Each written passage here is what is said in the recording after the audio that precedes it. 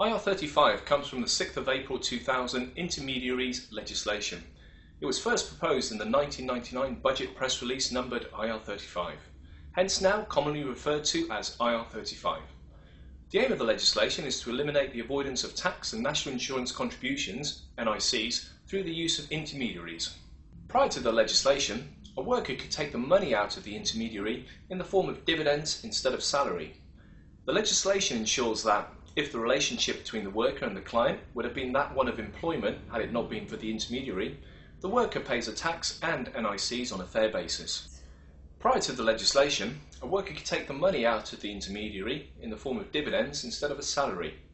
The legislation ensures that, if the relationship between the worker and the client would have been one of employment had it not been for the intermediary, the worker pays a tax and NICs on a fair basis. The legislation itself is not targeted at any particular occupation or business sector. It applies in any business sector.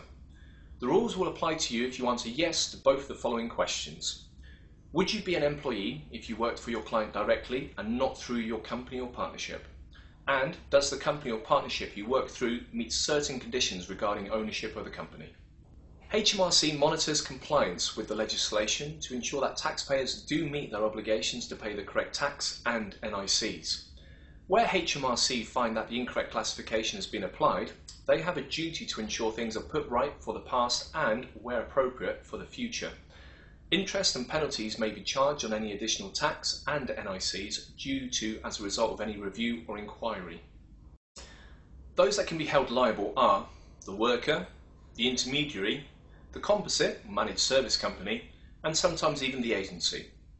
HMRC have additional powers to claim lost tax and NI revenue off any party who materially benefit from the placement of workers under the transfer of debt legislation. You will need to ensure you do not use a managed service company and in no way take dividends. Investigate and opt for a HMRC fully approved tax efficient solution. When choosing your solution, make sure the following applies. You are fully employed, you do not receive pay in dividends, the company operates a normal PAYE scheme, you pay employed Class 1 national insurance contributions, and the company continue to operate in a HMRC compliant manner. For a qualified solution, contractors will receive all the usual employment rights and protection given to individuals working for an employer.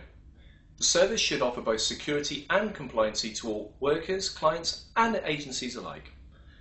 The company you choose should ensure each and every contractor pays the correct level of tax and national insurance contributions.